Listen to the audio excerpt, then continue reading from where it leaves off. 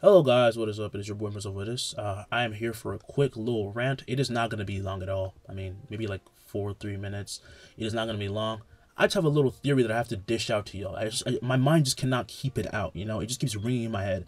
I think that the reason why Yuta lost his special grade status in the beginning of JJK is because he made a binding vow as a child when he cursed her.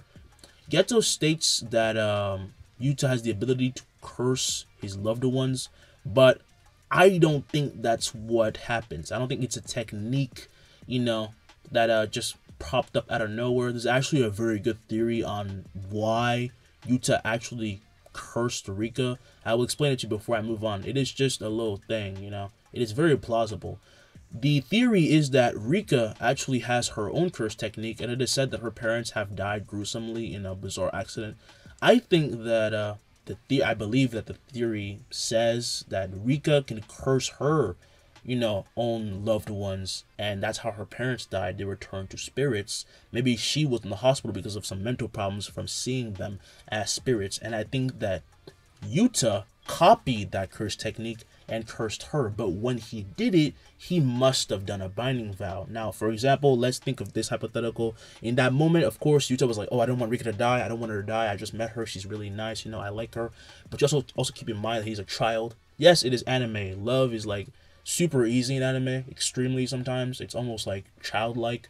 But JJK is more into the realistic stuff. It hits you hard with emotion. It is very harsh. If someone dies, well, it is what it is in JJK. But Yuta must have been thinking that he would give up anything for Rika to come back. And as his emotions swelled up, he must have made a binding vow. Rika for him giving out his cursed energy, but that cursed energy became bound to her. And that is why I think that Rika, if she had never ever, you know, had that kind of impression of you on Yuta, especially in the love aspect, I don't think that he would have bound his cursed energy to her, and thus he wouldn't need her to execute his power.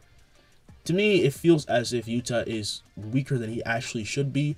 Um, I mean, people like to say that Yuta is only strong because of Rika, but they're stupid and they don't realize that Yuta made Rika. Like, if Rika died, she never would have become a curse if Yuta didn't know her. Like, she would just die. She would have no attachments to the world that are that strong there is no way that Rika on her own is like a very talented Jujutsu sorcerer. The reason why Rika exists is because of Yuta. So I don't like people like try to say like downplay Yuta. Yuta is so strong that as a fucking child he made a special grade cursed spirit. Alright? Like he made one. He made a special niggas like Jogo and Hanami are born are born from like the collective fear of things. Yuta made a special grade spirit just from his own emotions. Stop talking. All right, just, just stop. That's crazy. People are trying to like make everything so bizarre for no reason. Clearly, you haven't read the manga, so go read the manga. If you haven't read the manga or watched the movie, the movie is not everywhere yet, but you know, go read the manga. All right, um, that is my own little theory.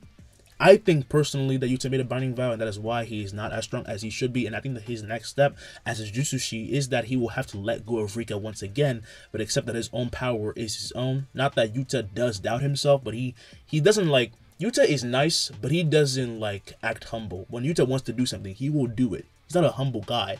He's just a nice guy. There's a difference. But I think that part of himself still attaches himself to Rika, which is a curse in its own, which is it's very appropriate, is JJK.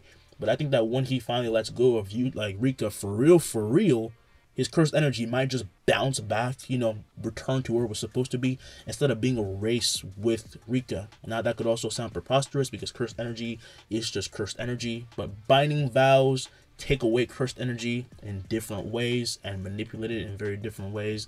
Like how heavenly restriction works, that in itself is a binding vow. You take away cursed energy, you can completely erase it if you want for pure strength. So, yeah.